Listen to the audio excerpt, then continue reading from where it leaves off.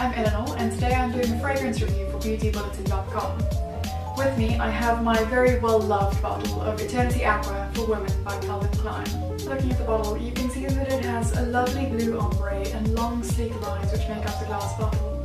It definitely looks like the original Eternity Aqua bottle, but it does have a much more modern flair to it. The original one was released in 1988, whereas this one came out in 2012. It's definitely a summer scent, and I'd go further to say that it's best worn during the day. You spray it, you get notes of cucumber and apple, which is followed by a rich floral bouquet of jasmine and magnolia and happiness.